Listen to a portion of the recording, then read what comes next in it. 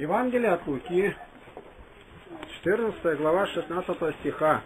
Притча о званых. Ее можно по-другому было назвать. Притча о последнем ужине. А можно было бы назвать притчей о посланничестве. Вот апостол. Все знают апостол, апостол. Не зря у этих называется в других в арабских языках расул посланный, переводится апостол. Вот откуда это имя. Слово посланный встречается в этой притче дважды. Послал, работа выполнялась, но не до конца, потому что указания не было еще на что-то. Ужин означает, конечно, что дело к вечеру идет. В самой притче уже заложено ожидание близости пришествия Христа. Очень близко. Завтракаем мы, но все равно ужинаем. Поэтому человек может сидеть, лежать, бежать, но он все равно летит. Как псалмопевец говорит, а мы летим. Время стремительно приближается к концу этого ужина. Каждый себе скажи, ты пришел на этот ужин или нет? А если пришел, когда? Вот тут и беда для православных, не могут назвать даты. Вот я могу назвать точностью до одного полчаса. Примерно. Тогда не записывал. День, как я заходил первый раз, описать запах, который был в это время. Что в этот вечер было, какие слова, какие люди, почему. Я был званый на ужин. Ну как же я ты на какой ужин, так кому? К царю. Вот сейчас бы получил кто-то, у Путина дочка выходит замуж и приглашает тебя, ты в числе званых гостей. Ну не мог же ты бы не показать никому, когда на кремлевскую елку, если приглашение, и то, смотри, я в число каких избранных попал. И далее все поступают как бы, никто не сговаривался, как бы сговорившись. И вот с кем не поговоришь, да это же все было. Ну не ты же первый. Ну знаете, я истинно не могу. У меня работа такая, вот я не могу. Другой, я не могу, у меня родители больные, я за мамой ухаживаю, за папой, там, за тещей, за сватей, за братьями. Все там. И тетка Аграфена больная уже. За всеми каждый день ухаживает где-то. Так это как раз все побуждает к тому, чтобы прийти. Я не могу сегодня у меня болеть, это не до богания. Скажи, завтра лучше будет? Нет. Значит, ты уже навсегда выпал из числа приглашенных. Да я поползу! Да я буду по воде плыть, копаться под землей, но чтобы выбраться и попасть на ужин. Я званый. А раз званый, какой бы я ни был, приду, там меня уже отмоет Господь. И вот начинает, землю купил. С землей всегда вопрос очень трудный был. Это захват земель, жизненное пространство, все немцы этим мучились пространства жизненно не хватало. И вот сейчас также земли, смотри сейчас на земельном этом э, кодексе, сколько играют, как покупают, какие люди садятся, мэры садятся за эту землю, потому что большие суммы надо платить.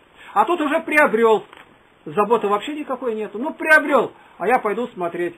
Ну, земля никуда не убежит, она на одном месте стоит, она застолбленная, документы на руках, ну Пир-то не может тебя ждать, ты понимаете, настолько неразумным. А все такие вежливые, культурные, цивилизованные. Извини меня, пожалуйста. Ну, поверь мне, только я не могу. Ну и не надо, никто второй раз за тобой не придет.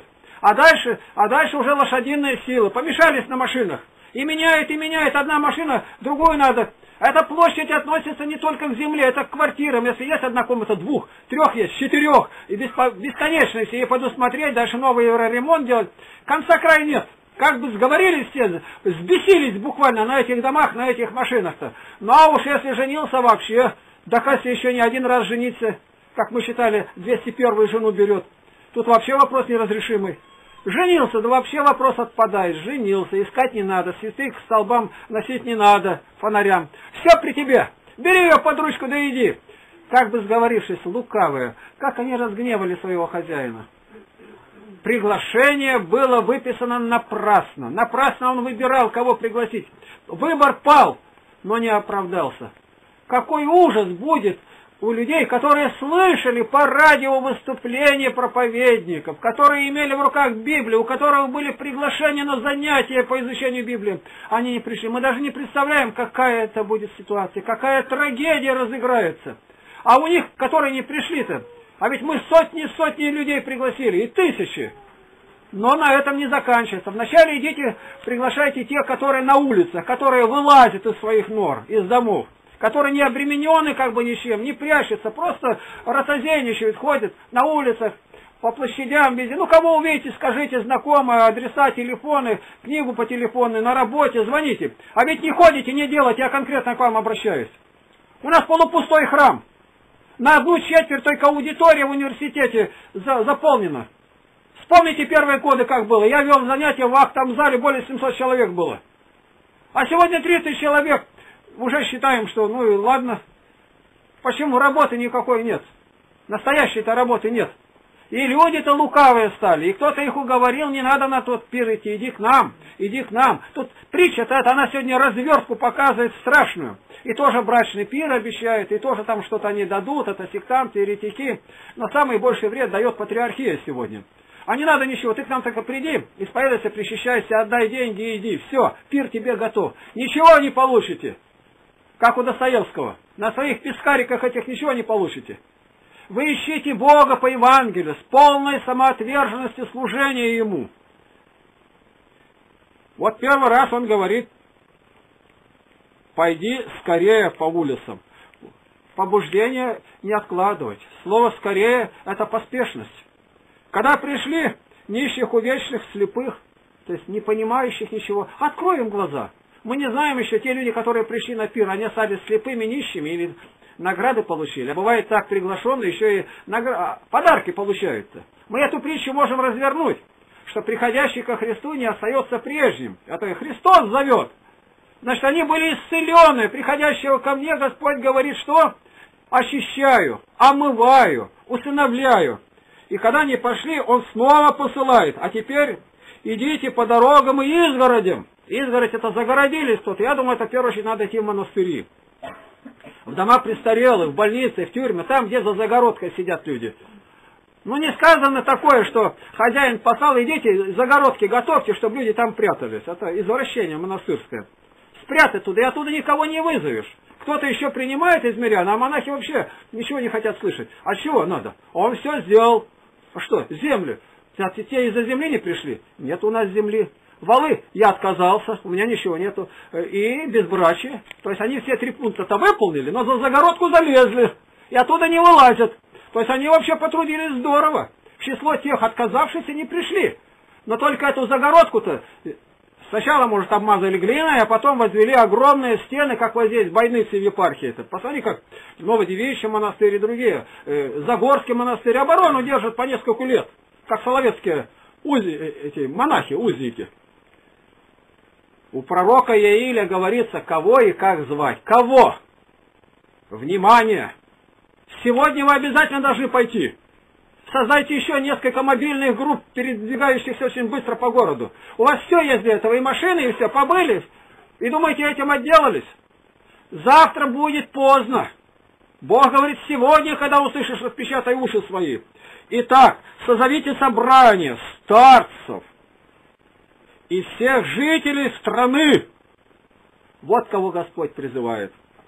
И во второй раз Иаиль говорит, малоизвестный кому пророк 2.16. Итак, пригласите отроков, и грудных младенцев не забудьте взять в храм, не забудьте взять с собой. На подсознательном уровне у него будет отражаться слово Христос, Библия, Христос, Писание, Христос, Слово Божие, чтобы все эти слова не были для него чужими. Дайте Библию, как мать его учила, вспоминаю я. Пойди и пригласи. Господь говорит, Иоанн 4,16, когда поговорил с самарянкой, ты уверовала, он не похвалил ее, что ты только уверовала, а сразу ей дает поручение, пойди и призови сюда мужа. А ведь эта ответственность с нее не спала. Дальше-то притча, почему-то, это, это уже не притча, а натуральная. Но незаконный муж, да, но через это выявил, да, незаконного-то надо звать или нет? Тоже надо. Ну хотя один раз скажи, где идут занятия. Да, у тебя незаконная была сожительница, незаконный там муж. Ну и им однажды ты должна когда-то была сказать. Это ответственность-то ведь не снята с этой самарянки-то. Исайя 58, 2 и 65, 12 говорит, я звал, и никто не отвечал. Это отвечает, говорит пророк еврей, говорит о своей миссии к еврейскому народу, и никто не отвечал. Вот притча-то когда уже началась это? Поэтому э, вполне эта притча могла быть принята к сведению, что у нас это такое было. Пророк об этом говорил. Читаем у Еремии, 7 глава, 13 стих. «С раннего утра я звал вас, а вы не отвечали». Пророк еврей снова к еврейскому народу обращается. Спустя сто лет снова не отвечают. Иеремия 35, 17.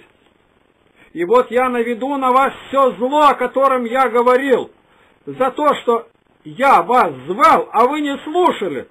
Я вас приглашал, а вы не отвечали. Причина даже показана какая. Вот это и революция, вот эта перестройка, потому что к Богу не пошли, пойдете за другими. Пойдете куда не хочешь, другой припаяшь, и ты пойдет, пойдешь. Псалом 33, 12. Придите, дети, послушайте меня, страху Господи научу вас. Сегодня вводят предмет основы православной культуры. Приносят мне пленку прослушать, как умные люди рассуждают. Очень умные. Но нигде ни один не говорит о том, что Россия пала потому, что не знали Слово Божие. Вот культура, да слово культура отсутствует в Библии. Им не культура нужна, она и не нужна совершенно. Нужно обновление в нового человека, и в этом новом человеке, соединенном со Христом, будут чувствования, как во Христе Иисусе. Вся и культура в этом. Никого не обидит, не обругает. Ну все самое плохое, скверное, взятку не возьмет, украсть не украдет. Новый человек, потому что он чадо Христа, уже родился не от плоских родителей. Псалмопевец говорит 45.9. «Придите, и видите дела Господа, какие опустошения Он произвел на земле. Призывать мы людей должны и показывать, что нашу страну ждут огромные страшные потрясения. Быть может, мы будем жить не среди русского народа. Бесконечно это несправедливое деление земли не может продолжаться. Все понимают, что китайцев будет не 2 миллиарда, а 50 миллиардов потому что они расплаждаются, а здесь убивают. Все показывает к тому. А сможем ли мы там быть, они побьют ли они а, нас? А вопросы вообще не должны ставить. Один только вопрос. Сумеем ли мы их пригласить на ужин ко Христу? Сумеем ли мы тогда, в последний час, сказать им, что хозяин добр, что место свободное, все время есть. И дальше не написано, что место не надо и никто не будет звать. Будут звать. И звать должны мы. Самопевец пишет 65-16. Придите ко мне все и послушайте, все боящиеся Господа, я возвещу вам, что сотворил Он для души моей. Значит, нужно хвалиться тем, что для тебя Бог сделал. У сектантов это поставлено. Я был такой-то, и каждый рассказывает, а как меня Бог призвал, как я первый раз услышал. Мы об этом научиться должны говорить. По милости Божией вы засвидетельствовали о себе, как вы пришли к Господу. У нас в книге это есть. А кто-то так ничего и не написал. И причина к этому тоже очень известная. Я вот вчера очень хорошего знакомого, члена даже общины, узнал, что он в городе из Потеряевки, и позвонил, все хорошо, ладно. А что ж ты вечером не был? Ну, так случилось. Бывает. Бывает, загородка какая-то мешает. Сегодня я уже из-за изгороди, уже запели, блаженство, снова звоню, живой. А чё ж не пришел? Ну, вот так это получилось. Понятно, что вчера землю осматривал, а сегодня быков, а завтра с женой разводиться, и все равно мне некогда будет приходить. Прийти некогда будет. И так и нет человека здесь. Исайя 1.18. Господь говорит, когда вы отстанете от всех своих злых дел, тогда придите и рассудим. Если грехи ваши были как багряные, как снег убили, ради этого стоит прийти. Я делаю отсюда вывод, что приглашенные имеют право снять старую одежду и получить новую. Он говорит, если будет все у тебя запачканное, дам новую одежду. И мы эту одежду получили где? В святом крещении. Значит, перед тем, как сесть за стол, я вечерять с вами буду, Господь говорит, Он дает святое крещение. Вы каждому говорите, крещение неправильно, крещение совершенно неправильно, крещение никогда здесь не было правильным. Хотя бы и полное погружение было. Сначала надо, чтобы человек принял Христа, уверовал, жил со Христом. А крещение только говорите, скажите, а у нас оно совершается по всем канонам Вот мне сейчас звонят с Казахстана, желают летом приехать, принять крещение, и у них уже там оглашенные назначили. На месте-то не крестят. Пророк Исаия, 2 глава, 3 стих. «Придите, и вы будете ходить по стезям его». Тогда мы не будем искать, как уклониться от Господа, пойти на поля на, с валами своими, с быками, потому что вол-то этот знает ясли господина своего. И осел знает кормушку, а народ мой Израиль не знает меня, говорит Господь. Исайя, 2 глава, 5 стих. «Придите, и будем ходить во свете его». Там, говорит, по стезям его, а стези его – это заповеди святые. А как ты узнаешь, если ты Библию-то не читаешь? Да ты на каждое дело, на каждый случай, семейный, с женой, с мужем, с ребятишками, разная ситуация, что бы ни было в мире, что считаешь, ты сразу, что об этом говорит Христос? А что Дух Святой сказал в Библии? Один вопрос задавайте только. А то задают вопросы совершенно не по Писанию, а только с выгодой для утробы. Моя выгода. Вот хочется сказать, возьми табличку, напиши мне имя, моя выгода. Ты ищи выгоды божественные для души, и как быть полезным, с кем ты встретишься. Совсем незначительный даже может быть разговор, коротким, но успей хоть немного глаза человека поднять к небу. Пророк Михей, 4 глава 2 стих говорит, «Придите». А для чего? «Ибо от Сиона выходит закон и слово Господа из Иерусалима. Придите». У нас есть Библия на русском языке. Придите, мы получили от избранного еврейского народа Слово Божие придите, у нас есть откровение Божие, которое вот в одном переплете, Ветхий и Новый Завет. Прямое, прямое повеление прийти и объяснять с какой целью. Ибо у нас есть Слово Божие, и оно изошло от Сиона. Никогда этого не отрицайте. Поэтому молитву свою всегда включайте не только в то, что перед глазами, а всегда молиться за еврейский народ – благодарностью, что сохранили. Они уничтожали многое, но многое сохранили. От Сиона закон, пророк говорит, получили. Господи, обрати этот несчастный народ. Народ, который никакого Бога будто бы не имеет, кроме золотого тельца. Совершенно голову потеряли. Смотришь, не голова, а бычиные рога одни от золотого тельца. Да познайте же вы Бога. От Сиона мы получили закон. И Слово Господне пришло из Иерусалима. Не из Византии пришли эти каноны и мощи, не из Киева, не из Синода, не от Патриарха, но из Иерусалима. Вот куда зовет Господь. И Господь-то говорил притчу эту в Иерусалиме. Матфей 11.28. Я специально поясняю, э, или вернее открываю те места Писания, где говорится, э, что обещано тем, которые придут. И что те, которые посланы, они им говорили, пришли, идите, у хозяина пир, старшего или младшего сына женит? Конечно. На еще что говорили? Они говорят, придите ко мне. Это пришли, говорят, вот хозяин написал, что пришли, он приглашает. И на приглашении написано, придите ко мне все труждающиеся, обремененные. Я успокою вас. Вы найдете покой душам вашим, ибо я кроток и смирен сердцем. Это каждому они показывают. Вы это людям и говорите, у тебя горе, приди к Господу. Ты забудешь об этом горе. Ты говоришь, вот постигла такая неудача. Ничего этого не будет. Ты это все забудешь. Люди страдают от потери близких, от потери имущества, от потери друзей. Господь самим собой все это заменяет. Потому что Он богат несравненно. Вспомните житие святой Екатерины, которая, девушка, поставила не одно только условие, обычно одно условие, чтобы выйти за богатого, за олигарха. Вот она этим мучается. А теперь уже все, если еще мисс, она красоты, хотя бы по одной деревне из трех домов, то все равно она что-то ищет выше своего роста. А тут все поставил, чтобы она, он был красивее меня.